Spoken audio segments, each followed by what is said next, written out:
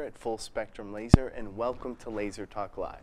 That's right, we're live here, back once again at Full Spectrum Laser, ready to talk about all things laser. Thanks for tuning in to us uh, once again uh, here on Facebook Live. Uh, we got a great show today. We're talking about some pretty interesting things. Yeah, we're talking science Science. There's a lot of science with lasers. and a lot of applications as well. Absolutely. So we're going to walk through um, a little bit of how uh, lasers work, and then a little bit of what the different types of settings do in your laser that have different effects uh, as you run your jobs. Um, so I think uh, right away, I think the easiest thing to do is talk about how a CO2 tube works. You brought over a, uh, a laser tube for us to look at, right? Uh, no, I can grab one. Right, so Yeah. um, we'll grab that laser tube real quick. So while um, Walker's grabbing that laser tube, um, basically inside of your glass CO2 laser tube, you have a very unique process happening. Um, an electrical source is applied to um, an inert gas within the laser tube, which actually excites it. Now that excited uh, gas is actually harnessed. The frequency uh, is harnessed and it exits out a diode. That uh, beam of light uh, then bounces off three mirrors and finds its way down to your material after it gets focused uh, with your focus lens. That's quite a bit of science that goes on um, as your uh, machine's working. Now, that's just for CO2 lasers. Now, uh, Charles has actually a great um, uh, great graphic he has for fiber lasers, how it's a little bit different. Uh, fiber laser actually just has a, a, a source that uh, feeds through a, actually if you can make that the full size, Charles, so they can see it. Uh, they don't need to see this shiny face. Appreciate you, sir.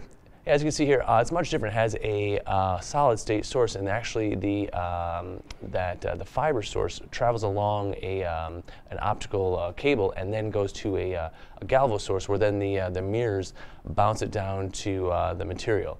Um, with the CO2, it's much different because the the um, focus area, the your uh, your head actually gets moved around in the gantry. So it's another big difference between using the uh, FDFC fiber lasers and the CO2 is that the FDFC lasers have far fewer moving parts. Now, on this big bad boy right here, this is a how many watt laser tube, uh, Walker? This is 90 watt. I just ripped it out of my machine. This is not true. You just didn't write. I think it's 120 watt. This is 120?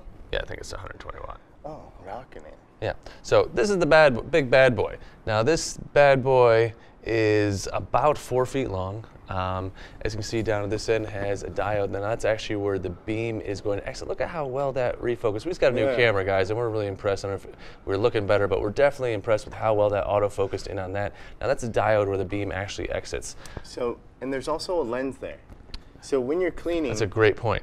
always remember that there is also a lens there. So you can take a lens wipe and a Q-tip. Don't use the bare Q-tip, but use the lens wipe, With then the the, Q-tip, Q-tip, right. and then put it in there and clean, because So- it can get in there. Absolutely. So that's and that's an easy place for um, dust and debris to collect, not just on a pro laser with a large tube like this, but also on a hobby laser. I clean that section out of my Hughes uh, Muse all the time.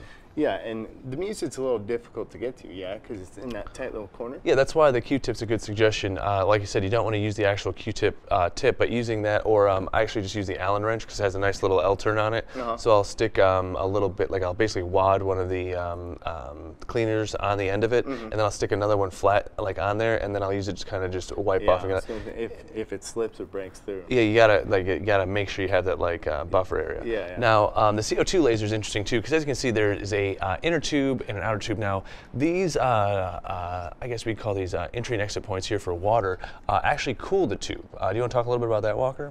So cooling is going to make your uh, CO2 tube run more effectively. You want this about room temperature and down. That's going to be your most effective uh, window of using this. Now, if you use it, your machine a little longer and it starts to warm up, you will see a degrade in its power.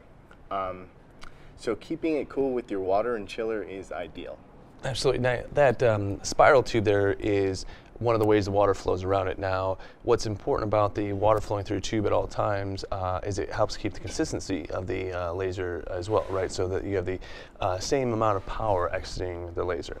Yeah, yeah, yeah. And always, if you tested a tube right at the output, it's going to be stronger than where it's coming out your laser head because it does degrade over time. And that's why when you have a larger bed area, it's going to be weaker in the lower right hand corner no matter what. Absolutely, because it's the farthest uh, the, the beam has to travel. Now, as we talk about power and current, uh, those are two settings you use during uh, vector uh, marking and cutting, uh, and they're much different. Um, a lot of people ask, you know, when do I change my current? When do I back off my current? Um, uh, what's the difference between power and current? Why is there even a power and current setting? Why isn't there just one slider? Well, um, the easiest way to think about it is um, power is literally um, pulses. So um, power is actually the number of times the laser is, is pulsating instantaneously, thousands of times a second, and hitting your material. So almost like a jackhammer, how fast the jackhammer is pulsating. Now the current is actually how much power, or power is actually bad word to use. Uh, current is actually how much electricity or how much um, um, current is behind your uh, your pulse. So if you're at 100 power but 50 uh, current, that means the pulse is going as fast as possible, but only half the power is being applied. Whereas if you go 100% current but 50 pulse, half of the, or sorry, all the power is being applied, but only half as many times it's going. You might ask, well, doesn't that kind of do the same thing or have a similar effect? Yeah. You'll see very similar effects if you go 50% power, 50% current, and switch them, or 50% power, 100% current, and then swip them. Um, you'll see very similar results. Um, the thing is, though, with current, uh, power affects, um, sorry, the current and power uh, will change the effect of how well you cut. So if I find a very close power setting, um, but it's, um, let's say I try to cut something at 35, like a birchwood at 35% power, and it's uh, getting through really good, but it's a little charred, it's a little burnt. Mm. Instead of backing down the power, I'll actually just back down the current. So there's a little bit less uh, juice going through at the point of attack, so there's a little bit less energy there. Um, where power, uh, you'd have less pulses, and I, I honestly don't think uh, that backing down. I think once you find the right power, the right number of pulses that you need, mm-hmm. I think that's kind of your spot. And then current's your spot where you really kind of fine tune and dial it in. Yeah, and definitely dial it in. Like I visualize it just to dumb it down a little bit, because it's like you're saying all that, but it's hard to like visually apply that, right? So I think about it as like two knobs. So I'm gonna throw my power on, and then this is that little dialing which that current is. That it just like it's really good for paper. Paper's a really good example because you don't want that charred edge on that little paper. So to reduce that char, uh, make it less dark, less brown, just play with that current a bit. So uh, just that second little dial, I feel like it's good for tuning in. Absolutely. The, uh, the times I use vector uh, um, markings is when uh, current is the most uh, prevalent for me. So I want my vector mark to be just right. And honestly, I want to mark it as fast as possible with getting the mark that I'm looking for. So if going at 100% speed, I'm still getting a little bit too much of a mark on it, uh, I'll just start to back down the current uh, rather than take back, because usually your power at that point is down in the you know single digit range. Um, that's a big difference between power and current. Um, the other uh, bit we want to talk about is um, how um, the big difference between uh, CO2 and, um, and fiber lasers are, is the amount of maintenance involved. Uh, we talk about this a lot uh, about doing uh, tumblers and other such things where if all you were doing were, was engraving tumblers or other such things, that, uh, considering a, a, fiber laser is, is, really the way to go. But the other thing to consider, there's, there's so much less um, maintenance to do on a fiber laser than there is on a CO2. Uh, there's no gantry system to worry about. Uh, there's really only the single lens to worry about keeping clean, which essentially stays clean. Like you're almost too far away from the item to ever have anything yeah. get on it. It's almost always immaculate. Um, and then the power supply and source just lasts 10 times longer than a CO2 ever could um, with the solid state source running through uh, fiber optics. It's a, uh, it's a much, much different system. Uh, and then the speed thing, I think, is another thing that um, really makes a big difference. On the CO2, you can only pulse so many times per second, like your uh, pulse rate uh, is really controlled. On the fiber laser, it's through the roof. It's, it's such a big difference. That's why you're able to go so fast on those passes, and why doing four passes sometimes is the same amount of time as doing one pass on uh, the CO2. And we're going to show a great example of that tomorrow, right? Absolutely. So, our in the cut tomorrow, we're actually going to do. Uh, yesterday, you saw a CO2 example on some coated material. Uh, then we're actually going to do the same design uh, using the fiber laser tomorrow on Thursday. So, you're going to have a side to side comparison. I think uh, Charles will even run the video a little bit side by side with the uh, yesterday's cut, uh, just kind of showing an example as we go. Looks like uh, Thomas Blackburn's uh, uh, on. How's it going, sir? Uh, Dennis uh, checking in. John and Jeanette uh, Dezel. And it looks like we have the birthday boy, Jim, Jim Robinson, Robinson, checking Happy in. Happy birthday, birthday Jim. good to see you taking a few minutes out of your birthday to spend it here with us on Laser Talk. Appreciate it, man. Jeff Hayes too. And Jeff Hayes checking in as well. Uh, good to see you on as well. Uh, Jeff, glad that um, link we just shared uh, helped out. That templates, uh, Walker showed that to me the other day. Uh, Oh, we shared it yeah. on the Facebook. Great little link. If you haven't seen it, check out our Facebook page. Um, it has nothing to do with us. Um, I actually don't even know the company that uh, does the page. Yeah, I, I, I was so overwhelmed by how awesome it was. I just had to share it. basically, if you like making three-dimensional shapes um, at all, uh, this website has something for you. Uh, Yeah. Check it out. It has a bunch of free templates, basically any kind of box uh, inserts. If you need um, packaging, um, uh, what, d- d- even lighting, like like, all kinds of there's just so much stuff in there. Like it's uh, like it's almost too much to start trying to list things because it's almost limitless. And the best part is, is you just put in the parameters that you want: the size of the box, the size of the insert, number of points, uh, depth, height, whatever, and it just makes the file for you. It's like maker case times infinity. Yeah, absolutely. So uh, check that out again on our Facebook page, uh, one of the previous posts today. Um, with the applications, uh, with the different uh, types of um, lasers, really, you're limited on the CO2 with how many different things you uh, can engrave. Um, when you go into metal marking, is really the big difference. Why do you see such a different, a big advantage over using the uh, fiber than a CO2 with metal marking? Because you can do metal marking with the CO2, right? Yeah, you can mark uh, coated metals, and then you can use Cermark. But Which Cermark has a couple different ways. Uh, we showed it on our previous video. It has the spray and then also the rub-on. rub-on tape, um, but it is expensive and timely. Absolutely. So you're adding a, a big process to uh, marking metal. Yeah, money and time, which is money as well. So when it comes to the fiber, it's so fast. Like it's ridiculously fast. And if you want an amazing like output, it, it takes a couple of minutes. But if you want something on par with the CO2 and even better, it'll take seconds. Absolutely. Uh, if that's okay, seconds like it really counts when you're just throwing something in there. A second,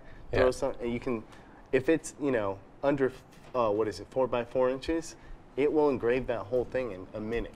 Absolutely. Like it's nuts. Absolutely, and I think if you think about if you're doing it at conventions, shows, any place else where you're doing uh, live engravings, we do, you know, when we do uh, phone engravings at trade shows, you can do maybe hundred phones a day if you're really pumping through. Mm-hmm. You can do thousands a day if you're using uh, the CO2. Now I don't know if you have the demand for thousands, but when Yeah, you're thinking about but- each phone can take under a second. But if oh, sorry, like- under a under a minute. Under a second would be oh ridiculous. yeah, if you did the whole phone. Oh, yeah, absolutely. But really, just the initials and the size we do is seconds. It's Yeah, five yeah. and six seconds. And yeah. if it was that fast, people would wait in line all day. Yeah. Like it would be a huge line if it was just seconds. Like, oh yeah, I'm 40 people behind. You know, I'll see you in 20. You know, whatever. Absolutely. Randall Lee, thanks so much for uh, tuning in, man. Uh, thanks for uh, spending some time with us again. Uh, always good to see you uh, tuning in. Um, now, Muse and Pro, um, they have different size. Uh, it's a much different uh, sources between a 45 uh, and a 90 watt laser tube. Uh, what do you see as the biggest differences uh, between users of uh, 45 watt lasers and 90 watt lasers? So usually it's the work size and the thickness. You brought an example of the 45. No, I I'm didn't. I I'm did- just, I'm just kidding. Um, just kidding. Um, just kidding. I was gonna just steal one out of a machine again. Um, oh, for.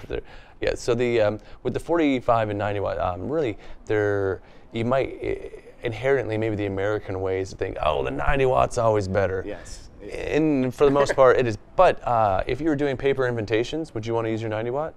I mean, you could. Would you want to? I would rather use a 40 watt. Exactly. So your application is really dependent on the type of laser you need to use. So um, don't feel uh, I don't know short-sighted at all if 45 or 45 watt la- or 40 or 45 watt laser is what you need to do uh, your your job. I, I think application is the most driving decision-making uh, factor when figuring out what kind of laser you want.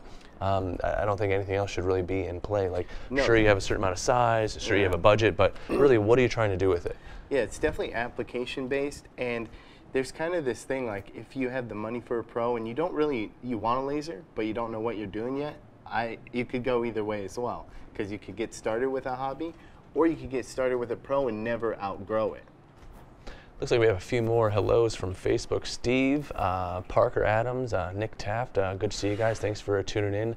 Uh, Steve, this might be 100, 100 shows in a row you've watched. I appreciate it, man. Uh, Steve, uh, if there was a fan club uh, I know a few guys that would be Yeah, on it right away, and we'd proudly have them. So, any of you guys that watch the show regularly, if you're ever in Las Vegas, please stop by, and if you can, come here on a Wednesday. Even if it's not a Wednesday, we'll shoot a little something that we can play on a Wednesday. Uh, we Yeah. appreciate you guys always watching and uh, asking great questions. Uh, it really helps the show, and we're really glad to help other people by answering questions uh, on the show that may, they might not think to ask, or maybe they haven't come across yet.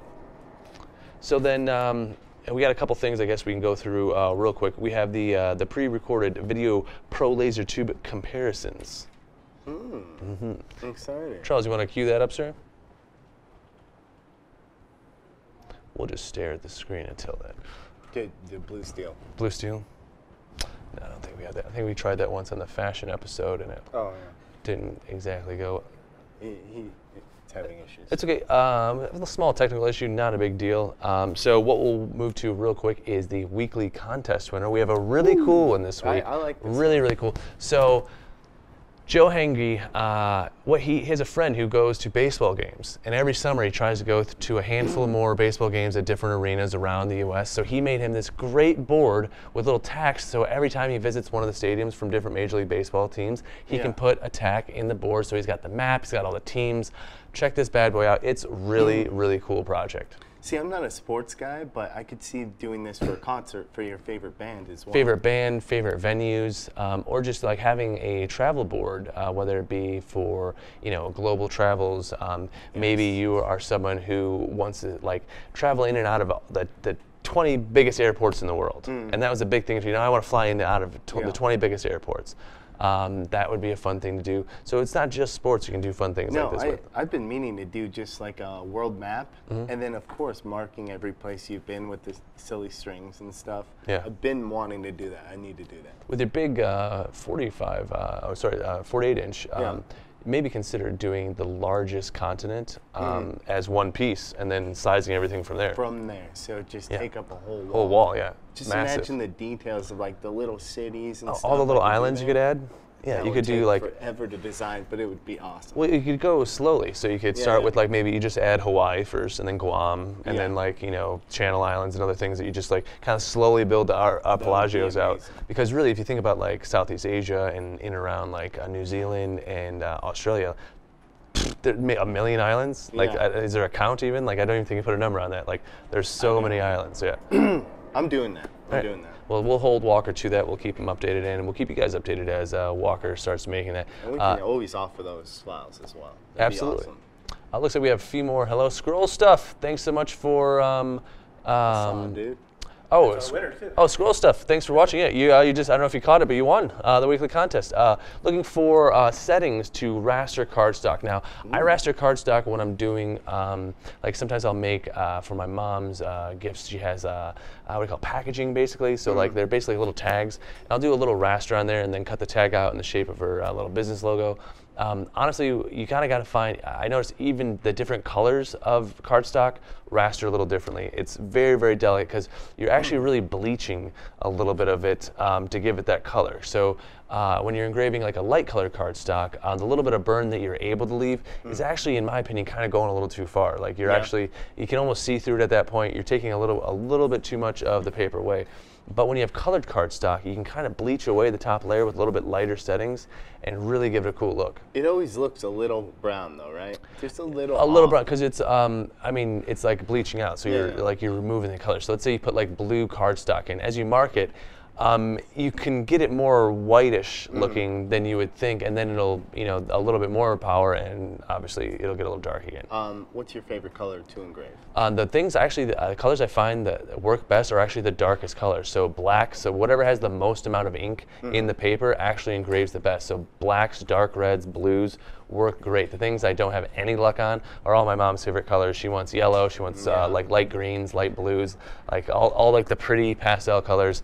None of them work good. I gotta always like do something darker and then engrave away. Well, I know you you engrave paper a lot, which when you showed me that, I was like, who engraves paper? Like, Yeah, and honestly, if we're, it's not necessarily efficient. Like if you're Yeah. engraving, like it's not the most efficient way to do paper. Um, it's just kind of neat It's to do. yeah, it's- it's a more of a can do novelty thing. You like, can do it. Exactly. Like uh, I'm not like I'm making hundreds of these for my mom. She makes like you know she sells like maybe 10 of these things a year. It's not like Yeah. a, a ton. So to do 10 of them is is not a big deal. And you can do some neat things when you engrave on paper. And there's a little bit of the wow factor when you get a tag. Whether it's like sometimes I'll do wooden tags for her or other things, but like a little bit of the wow factor when you grab the tag and there's like a little something impressive to it. So you tend to want to spend a little bit more. Um, Oh yeah, definitely. yeah, so if you're making any product at all, um, I mean, a strong suggestion: make your own packaging, your own, like your own branding, your own tags, Everything. everything. Make like, everything. absolutely. The um, even if you don't feel like you know, manufacturing the tags, like I think you can get packs of tags off Amazon or maybe even at Joann's for almost nothing. It's you almost wonder how they can cut them so inexpensive and sell know. them. Like some of the laser cut things I see at Joann's, I just wonder like. Okay, they must have a factory with 400 lasers in there, and The biggest lasers, the fastest lasers. Absolutely, like- just pumping them out because I, I, it's, it's impressive to see some of the prices they can sell them for at Joann's. Uh, Parker Adams has a quick question. Um, how do I remove the bottom of a fifth gen laser? That's a great question. So there's a handful of screws on there. I believe it's, uh, I want to say 16 screws all the way around the bottom, and you just simply with an Allen, uh, Allen key, just remove them. Absolutely. Now that uh, would have came with your Muse. If it didn't, you can get a standard size uh, metric set of uh, Allen wrenches, and one of those smaller ones. I want to say it's an M Three. Wanna M3. I think it's an M3 screw, yeah. So if you have that M3 uh, uh, screw head, uh, that's the easiest way to do it. I suggest using a power screw because there are 16 of them. They're a little bit longer than you think. And after about the fourth Yeah. one, you're pretty tired of removing these little screws. So uh, grab a little power drill and just pop those out real quick. That would be my suggestion to That's a great suggestion. Yeah. Because the first time you, you, you set the machine on its side, and then you're like, yeah.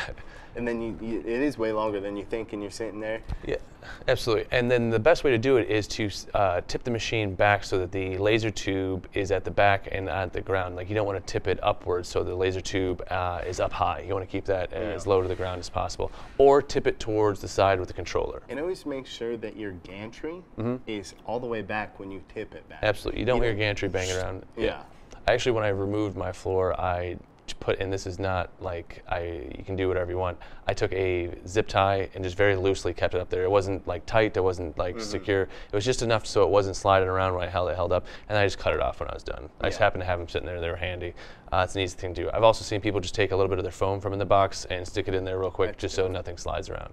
Looks like Jim's got a quick question on Facebook. Uh, Jim Robinson asks, any thoughts about adding? Um, what are we? Uh, Oh, DXF and CDR file import for RE3. Jim, absolutely. So um, our version 1.8 release will have a handful uh, updates as well. Like one of the big things software is working on is including and uh, increasing our native file formats that RE3 takes.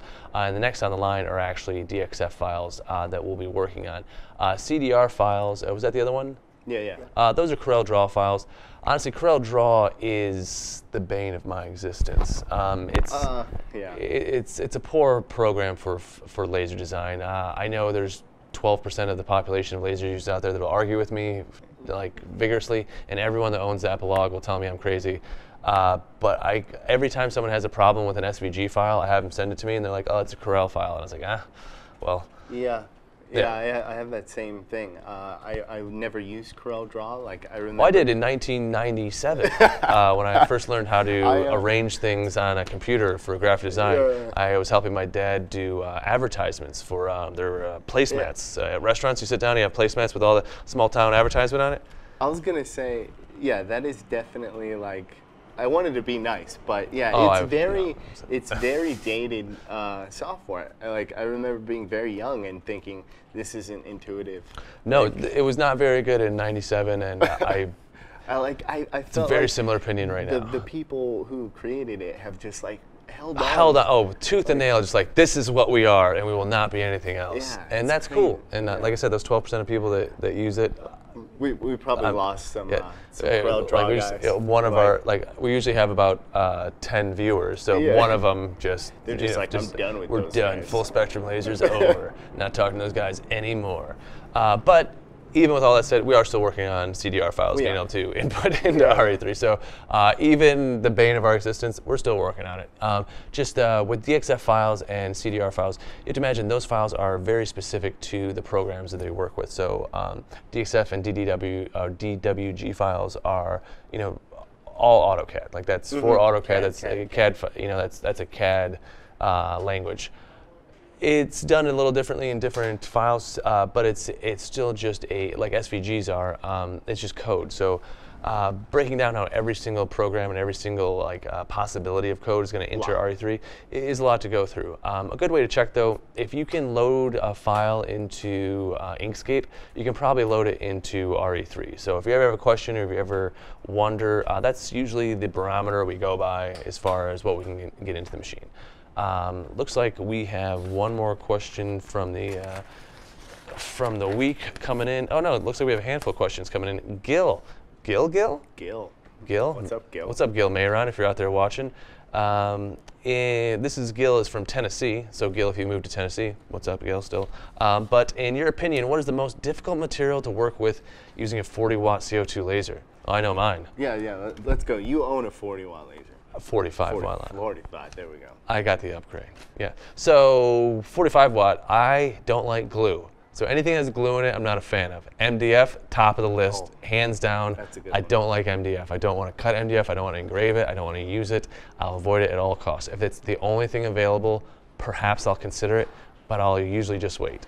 Uh, next would be very close second would be like cheap, inexpensive three mil plywood. So anything that has a lot of glue holding together layers of, if it's cheap and cheaply made, i.e., if it's bowing really badly, if it feels kind of thin and crackly, if there's a layer of MDF in that ply, ugh, I don't want to. I don't have anything to do with it. So that would be my two most difficult things to work with uh, easily. That's great. I totally agree with the MDF, but I have been so fed up with MDF that I just don't even consider it. yeah, I don't use it. Yeah. Um, so the stuff that I think for 40 watt is leather, because I'm always excited to make something leather. And sometimes you get some weird fibrous leather that's just like it's so thin, and for some reason it just doesn't cut well. So here's my secret with leather. Leather. Real quick though, Doug Williams, what's up, man? Thanks for tuning in. Just had a quick uh, it's up, but leather. Um, I cut leather all the time. Like I make those Yeah, little yeah. uh, wallets with it. Uh-huh. The uh, the leather, in my opinion, with a 45 watt, it's about the second pass. Mm-hmm. If you're cutting leather with a 45 watt, I agree. I almost didn't want to deal with like dialing it in. Like I was like, oh, it's like taking like it absorbs a ton of energy. So if you have too much power, it really starts to crither and like Mm-hmm. gets all gross. If it's not enough energy, like you said, it's just too fibrous and it kind of ruins it when you pop it out. So you have to like end up going back over with a lighter or a torch or something. So it gets all the uh, Yeah, yeah. it's it's uh, and then the smell is just ugh. But I'll be honest with you. Here's my the two big things. Like one, the second pass is the biggest thing, and then two, it's about getting over that leather quick. You don't want to spend time. You want to keep that speed up on the leather. So keep the speed up, and then honestly, like if you're about through on that first pass, that second pass, if you keep the same speed, you don't have to be like most of the way through on the first pass and have a second pass to clean it up. You can Yeah. think about it doing it like I'm going to do this in two cuts. Like this is uh, purposely going to do two passes on the thing. Um, to me, that's the secret with the 45 watt. Yeah, I agree. It's a little difficult to work with 40. And the only times I'm wishing I had like a bed bed with a big 90 watt or 120 watt laser is when I pull out the big leather and I was like, ugh, I don't want to cut this down to a 20 by 12. gotta cut And I could cut it out, then I got to put, and then I second mean, I still have to cut it. I just have to cut it in 48 by six by four foot by three foot Yeah, sheets. Yeah. yeah. a little bit easier. Uh, looks like we have uh, Jim's asking says uh, cork is difficult for uh, for Jim. I was looking if we have any suggestions. Now, cork's another one of those things. I'll be honest with you, Jim. It's got glue in it. Um, like now, if you have true actual, this is cork.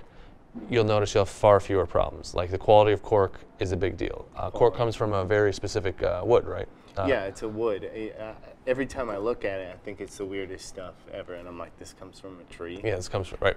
So quality of the cork is a big thing, but two, um, kind of finding uh, finding a dialing point. Now, if you're cutting, uh, cutting cork is a little bit more difficult, mostly because it kind of has a leather rule that like uh, you're hitting different inconsistent spots as you go across Yeah, it. a lot of variables in it. So multiple pass for cutting and go into it thinking that's what you're going to do, not as a backup plan. Like, nope, I'm doing this with two passes, and that's exactly how I plan on doing it. That way, your first pass can be a little lighter.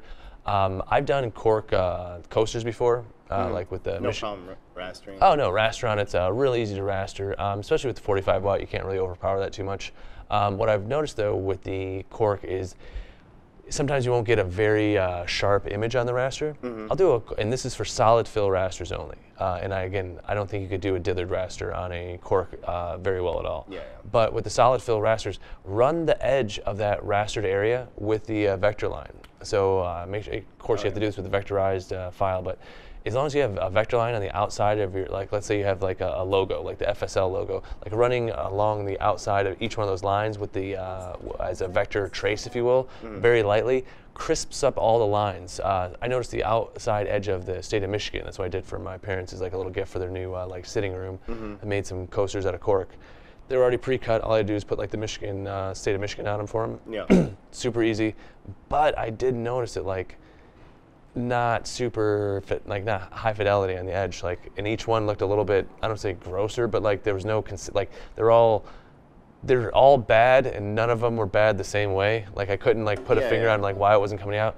And I just tried it once, just running a vector afterwards, and such a cleanup job. I mean, Oh, I made the bet. biggest difference. Yeah. Yeah, cork has a lot of up and down, so I can see that. Not only up and down, but like just consistency of the density. Yeah, oh, yeah, yeah. The little particles. Looks like we have uh, Betsy asking from Idaho, uh, Walker, besides the laser tube, are there any other parts for the Muse that are considered consumables? And I'll eventually need to replace them. So uh, basically, Betsy's asking outside of the tube, what else would you have to look to replace? I would say there's no real consumables, but eventually you will have to replace your belts and your wheels if you run it a lot.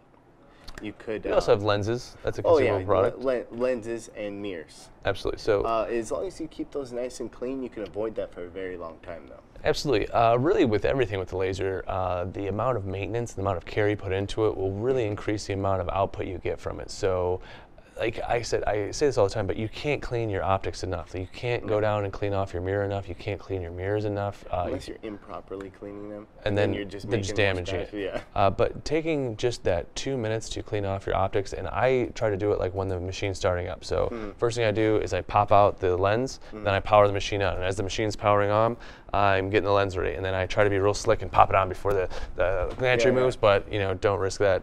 Uh, once that's on, then I go through and I just quickly with the same uh, wipe go through and touch up the mirrors real quick, and then the diode. i again, the diode is somewhat protected, and the the draw from the exhaust doesn't really go that way. But I'll still go in there, like I said, with the Allen wrench every two or three times, Yeah. and just get the little bit of gunk that builds up there. It's usually not a lot. You can see it on the white, but it's enough to get it, get in there and get it out. And you, you don't want that little tiny bit of debris burning on your lens or mirror. Absolutely, that's another big thing. Yeah, over time that will just get so bad that you need to replace it. Absolutely. Uh, then looks like uh, we got one question coming in from California for you, Walker. Uh, can I engrave directly on stained and finished wood, or should I remove the stain and finish first? That's actually a great question. Yeah, so I do furniture pieces all the time, and they're most of the time old. Yeah. Uh, and they have you know the thick lacquer and the thick stain, just all, like all that, and I just engrave on top of it. But you will notice that what comes from that will be like a yellow, you know, around your raster. You can clean that up, can't you? Yeah, just clean it right up. You can use a solvent or just soap and water. And then I like to go over it with uh, clear coat again and kind of blend that into the already existing clear coat, and that's how I do it. Absolutely. Now, s- uh, thing to consider is uh, when you have it uh, stained and a protective coating on it already, and you're engraving it, you're actually that's protected wood. So uh, the only thing that's really going to get on there is a little bit of the burn off from those chemicals that are on the wood. Not much risk there as far as damaging uh, the wood. Uh, I wouldn't really consider that something that you'd have to like look out for um, by any means. No, the only thing I, that comes off the top of my head is the chemicals, you know, inside of that lacquer from the 40s. If it's an old piece, Absolutely. who knows what's in there? Yep. Um, but yeah, Yeah, that's probably the only thing to worry about is is that. But um, mo- I mean, the MSDS on most most yeah. current it, unless you're in California, then you can't do anything. You can't own a laser in California.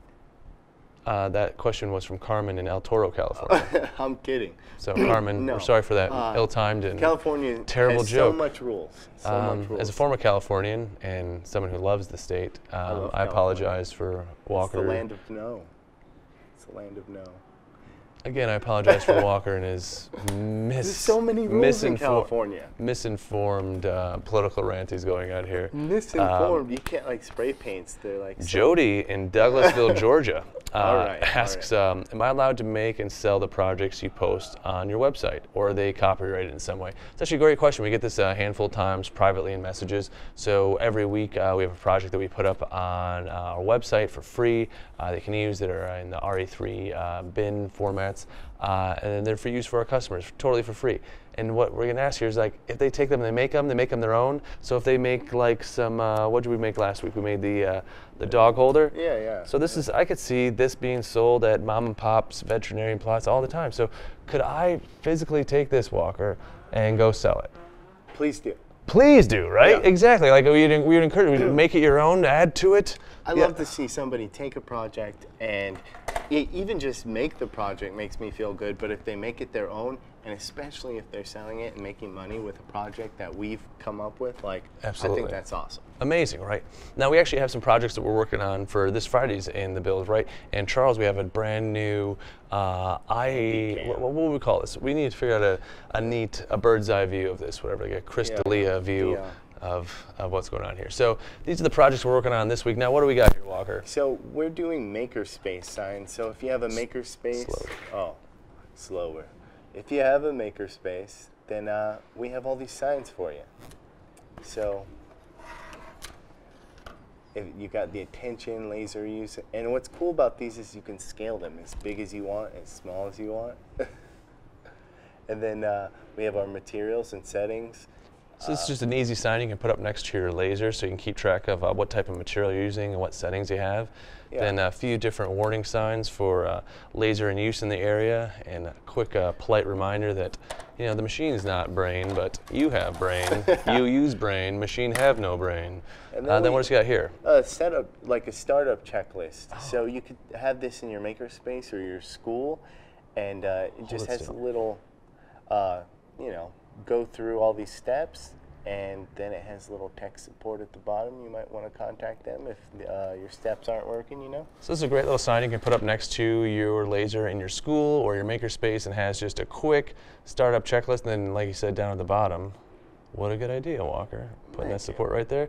And then uh, another checklist you did here. Uh, what's on this one? So this is safety first. Never leave your machine unattended while it is operating. Blah blah blah blah blah. And it Just will hold it still and I'll move the camera. and it will just uh, you know these i can see just being on the back wall where your laser sits in your school or uh, maker space just uh, for everybody's information now Absolutely. we have tests you know uh, the laser certifications that go over all this safety stuff as well um, but it's always good to have that tangible in the space area Absolutely. Then you did a neat little uh, uh, sign-in sheet, right? So makerspaces can have people sign up for who's using the laser next and whatnot, right? Yeah, and you can have your times on there, whatever you want. Uh, and this is made with the Rowmark whiteboard, which is plastic, but they also sell whiteboard at Lowe's that Absolutely. you can cut. It's got wood or uh, MDF backing. Absolutely. So, like I said, that was our project from last week. You can go and make, and then this week we'll have some of these cool signs that we'll make with Walker on the uh, in the cut, or sorry, uh, the one-hour build. Looks like we had a question coming in from uh, Thomas. Is there a free file for the shelves behind you? Uh, the shelves behind us. So I think. Uh, I think not, but I know we have this file. Um, what's beautiful though is if you wanted to make one of these shelves, I think that link that we just put on our Facebook page would probably help you do this. Um, this is basically just a notched box, uh, you know, modded out for uh, shelf use. So uh, if you look at the edges here, and maybe we'll, I don't think any of these can come off really easy. They're all screwed in, but uh, we'll pop one off for next week. And I'll tell you what, uh, between uh, now and next week, I know this file exists someplace on one of our computers. Uh, we'll If find that, it. It'll take minutes to Yeah, remake. uh, we'll throw it out there. Uh, so look for that uh, next week. Uh, maybe we'll do that as a project for next week. Uh, I like that. Yes. shelf? Yeah, uh, may we'll just do a few different iterations of it. Maybe some candle holders, some shelves. Maybe, some yeah, like. something fancy, something not fancy. Yeah, absolutely. So uh, look for that uh, file next week uh, for one hour build, just like that. I like that. All right, cool. Uh, anything else from the Book of Faces, Scott? looks like we're clean there. Uh, appreciate you spending the time with us uh, this week once again here at Full Spectrum Laser in beautiful, extremely, extremely hot yeah. Las Vegas, Nevada. I don't know where it is you are watching this from, but it's 100 and 30, no, 113 degrees. feels it feels like 131. Uh, 113 degrees here now. Um, I think when I get into my car, uh, when I go home, it says 120 something from just like the sun beating on yeah, it. Yeah, uh, it cools down. Like your car gets going, and yeah. it's like drops to 113. it drops a whole seven degrees. Yeah. Whoa. Yeah. Um, what's great is most people's air conditioning can only do about a 20, 25 degree tilt. So if you can imagine, all of our homes are about 85, 90 degrees. Uh, our dogs love it. It feels it's, great. It's so good. It's so nice to sleep in. I'll tell you, waking up in 113 degree weather. Uh, Well, the thing about uh, like Nevada, Las Vegas. It's a dry heat, right? It's a dry heat. No, no, that's but it, the worst. It's awfully hot for three months, and then the rest of the time it's, it's pretty, good. great. Yeah, So- it's pretty great. It's really like uh, right now is kind of our winter, to be honest with you. Yeah, yeah. It's like Yeah. we don't want to do anything. Like we don't right want to be outside. No. Everyone's like, it's so beautiful, it's so sunny. It's like, no, that hurts. Like that's I know, like all the motorcycle guys back east, they like work on their motorcycles during the winter. yeah, Here, I work on it during the, s- the summer because I don't want to be. outside. Yeah, Yeah, absolutely. So like our garage time's actually in the uh, uh, in the other time of the year. Looks like we have uh, Tom Sherwood checking in. Uh, caught you on the last part here. Appreciate you uh, watching with us, Tom. I think that's all the time we have for this week, though. So tomorrow we have the comparison of the uh, in the cut, which will be a straight comparison from the CO2 engraving we did on Tuesday. So you can see a fiber comparison of the same exact file, uh, same exact uh, size, exact everything. everything's exactly the same, same material, everything, except we're going to do it on the uh, fiber so you can kind of see the difference between the engraving speed and quality. Uh, then one hour build, like I said, we have these great projects that Walker made again this week, including this brain, which I just love this one. This one's like so one smart. a lot, too. yeah, it looks so clean. It's such a good project. Uh, Walker came up with some great ones. Um, all these signs that were so useful. Like, I mean, really, there's no makerspace or edu space that couldn't just use one of these signs. Yeah, Uh, they're The, I mean, the engraving takes an hour on that one. Oh, on the bigger fairly- one? Yeah, it's fairly long, but it's the whole size of the muse. that's pretty cool. Yeah, yeah. Yeah. It's a, and, I didn't even notice it. That is pretty big. That this was uh, a Muse. Yeah. Wow, that's that's that's pretty impressive. that's And- pretty big. And uh, I think this would be a great first project. Like if you're setting up your makerspace, it is large, but it's a, you'll learn a lot from how long the engraving is and realistic expectations. Absolutely. And then, and I mean, really, uh, especially if you're a makerspace, some- what a great thing to, to run off because you don't have to do this on this. Like we have, this is some really nice, fancy material we have here from Rowmark. This has a white back. This is actually acrylic. Uh, this uh, with wood grain on it. It's terrific. But you can just do this on wood. You can do this on Anything. All cardstock. these Yeah. projects you can scale and put on anything. That's uh, probably the best part about uh, this week's projects. Is really like no material uh, necessary. You can use whatever you have in the house. Yeah, yeah. Or whatever in the makerspace, because there's one thing makerspace has a lot of, is extra material laying around. Random So go grab some of that random material, throw some safety signs up, some materials, and really uh, this the sign-in sheet. Whoops, this yeah, whatever. Breaking stuff. Uh, this one for the Muse, well, Walker's set this up for a magnet so it can uh, stick right in the front of the machine. You can use this for any machine, not just a laser, not just one of our I lasers. Actually use made a pro one too. Abso- So you can use it for pro machines. You can use it for your CNCs. Your what else is at the makerspaces? People always get backed up 3D on. printers. 3D printers always get backed up at the makerspaces. Uh, the CNCs. Uh, oh, the, uh, the router and the um, uh, like the uh, what do you call it? The um, uh, it's kind of like the big sander, but uh, uh, you can plane things on it. Uh, the planer? I think it's called the planer. Yeah. Is that what it's called? The planer always backed up on the one right over here on uh, Sunset. Uh, so this sign could be used on any of those big things. Um, I think that's all we have for this week We're then. not going to talk anymore? What's that? No, I'm kidding. What's that? We're not going to talk anymore? I thought you were going to talk now. Oh. I've been no. talking too much. Okay. Is, are we? No, are we-. Is it? Is it? I'm good. Very good. Okay. All right. So we just had a small meeting. Sorry about that. All right. So that's all we have for this week. All right. we'll uh, have some more uh, next week on Laser Talk. Uh, next week we're going to do a few things uh, concerning the Pro uh, upgrade. We actually have a few things to disclose and show you with the. Uh, the new touchscreen, which is actually another thing will be coming out in the Muse 1.8 release, is a LCD screen upgrade, which is a pretty big deal. A few functionality upgrades there, but we'll talk about that next week and a few other things. So tune in tomorrow to see our uh, in the cut uh, live laser job comparison. Friday with Walker as uh, him and Scott make uh, these great signs for your maker spaces, and next week on Laser Talk here live at 4 p.m. every Wednesday, uh, full spectrum laser. Uh, thanks for tuning in, and until next time. Keep making.